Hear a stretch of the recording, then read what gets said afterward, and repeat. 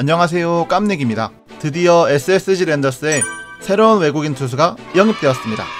한 경기도 뛰지 못한 애니 로메로 선수가 퇴출되고 총액 54만 달러에 새로 영입된 전직 메이저리거 로에니스 엘리아스 선수에 대해 간략하게 알아보았습니다.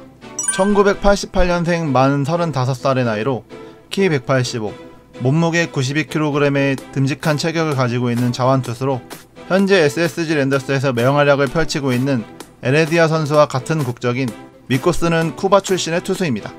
에레디아 선수와는 시애틀 메리너스 소속 당시 같은 팀 동료이기도 했는데요.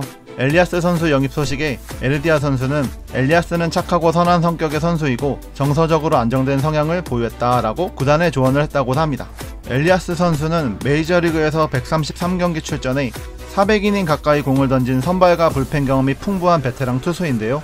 간단하게 경력을 살펴보면 2011년 시애틀 메리너스 소속으로 마이너리그에서 데뷔, 싱글 A, 더블 A를 거쳐 2014년 메이저리그에 데뷔한 엘리아스 선수는 그해 6월 1일 디트로이트 타이거스 상대로 3안타 완봉승을 기록하였고 2016 시즌부터 2017 시즌까지는 보스턴 레드삭스로 팀을 옮겨 활약했지만 잔부상 때문인지 마이너리그를 오가며 메이저리그 출전은 단 4경기에 그쳤습니다. 2018 시즌은 보스턴 레드삭스 트리플 A팀에서 선수 생활을 시작했으나 4월에 시애틀 메리너스 트리플 A팀으로 팀을 옮기고 메이저리그에 복귀하여 주로 깜짝 선발이나 롱릴리프로 등판하며 총 23경기 3승 1패 34삼진 평균 자책점 2.65를 기록했습니다.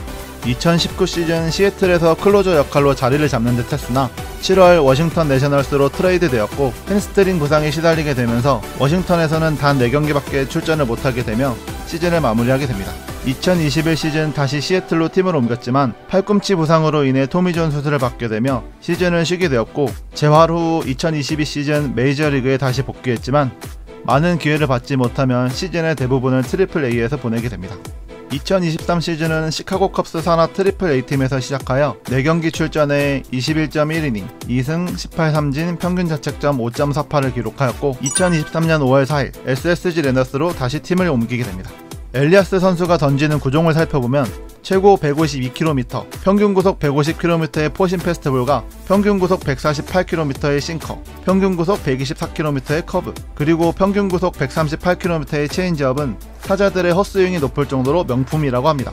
포심을 주로 던지고 커브와 체인지업으로 타이밍을 뺏는 스타일이며 구위, 제구, 변화구 구사 능력, 경기 운영 등 선발 투수로 갖춰야 할 역량을 골고루 갖춘 완성도 높은 좌완 투수라고 합니다.